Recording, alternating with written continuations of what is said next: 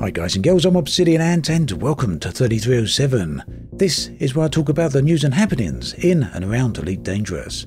This week we've got a brand new uh, community series in the form of Rebuy Unlimited heading this way. Sagittarius Eye makes a return to PDF format and Tori Wolf shows some concept for an alternative plant scanner. The premier magazine for Elite Dangerous, Sagittarius Eye, is making a return to PDF form on the 23rd of April. Now, Sagittarius Eye has been in podcast form for quite a while now, however, the return of the magazine is definitely most welcome by myself and I'm sure many other people within the community. The magazine was always produced to absolutely fantastic standards, and what's more, this time around it's going to be available in printed form as well. To get your hands on the printed copy, uh, simply head over onto a Sagittarius Eye Patreon page and check out the uh, printed tier that will be available on the 23rd. And for everyone else who wants the digital version, that will be available beginning issue 35 on the Sagittarius Eye website. Do check out the links in the video description. Now, last week saw the release of Phase 3 for the Alpha of Elite Dangerous Odyssey, and it brought with it a good deal of controversy, and I think perhaps it's reasonable to say much of that was fairly deserved. The exploration side of Odyssey comes with its utility, the ability to scan life in the form of planets down on planetary surfaces. Unfortunately, this has made a lot of waves by being a very simplistic introduction of the uh, system. Essentially, in order to scan plants, players are expected to get involved in a quick-time event which relies on very quick reaction times, Although this has been patched with a hotfix, reducing the time timing down a little bit to make it slightly easier for people, the concept of a reaction game does make it not ideal for many people. However, very recently, a video posted to YouTube by Tori Wolf suggests an alternative. The alternative is slightly more puzzle focused, allowing players to rotate rings in order to align them correctly.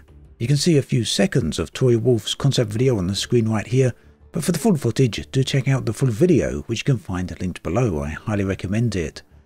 I do think that something like this would go a long way to making the uh, whole process of scanning plants a little bit more interesting. However, there are other problems, and for those, I've mentioned them in my previous video, which you can see linked on the screen right now. You can also find a link in the video description. So, well done to Tori Wald for presenting such a really nice uh, concept here. Going on to a completely different subject. When I was a kid, perhaps one of my first, uh, most favourite LEGO sets was Space LEGO. Now, of course, LEGO and Elite Dangerous seems like an absolutely perfect fit, and plenty of other people, it seems, would agree. We've got a LEGO Krait Phantom here posted to Reddit. Uh, this is by Beef1213, and it's a lovely Krait, really nice bit of kit. Uh, definitely would like one of these myself. Elsewhere, Redditor Lurkin Random has posted this LEGO box art that's made for a custom Elite Dangerous LEGO ship, a Faulcon DeLacy Anaconda. This looks just like the type of box you'd buy in one of the LEGO stores. Very nice indeed.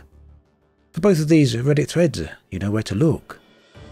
And still on the subject of community created content, there's a brand new series about to arrive to YouTube called Rebuy Unlimited. The initial video here is an internal pilot, I guess you could call it episode zero, a concept that has been put together to see how well things work, and I think you'll all agree it actually turns out really, really nice indeed. So I'm definitely looking forward to uh, seeing more of these. The story plays out across the entire 10 minute video, and I fully understand and fully imagine that a lot of work, and both in terms of production as well as organisation, must have gone into this. So, not only is this a great video, but it's also very funny as well. Again, linked below. Now, Phase 4 for the Alpha of Elite Dangerous Odyssey will finally unlock the entire galaxy for players to uh, access. Not only that, it will also bring players access to their full account, which will be copied over from the live servers onto the Alpha servers, essentially giving you all your ships, all your credits, and everything else. Now, as yet, Frontier haven't given a release date for Phase 4 of Alpha, but I suspect it's going to be uh, pretty soon. The entire Alpha itself is set to end on the 30th of April, so I fully imagine that Frontier want at least one full week of testing in before we reach that date. That basically would mean Alpha for Phase 4 could start this Thursday, but we'll have to see. Now, each phase of the alpha has had a focus. The focus for the fourth phase is for compatibility between Odyssey and Horizon's content. So we probably shouldn't expect to see too much in the way of new content for Odyssey in the fourth phase. That said, there are a few things that are likely being held back for release. One thing that we do know for sure that is being held back for release is the full implementation of brand new planetary tech. We've seen some of that in Odyssey so far, in fact you can see it on the screen throughout this video, some of the new planetary surfaces and some of the atmospheric effects. However, the full implementation of this planet tech is not coming until release. But other than that, there's no official word on whether or not any other content is being held back for release. So for now, Phase 4 is the next step. That then brings us to an end of this episode of 3307. As always, thanks for watching, and I'll catch you guys and girls next time.